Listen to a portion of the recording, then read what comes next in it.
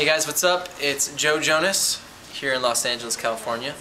And I hope you guys are voting for the Popstar Awards.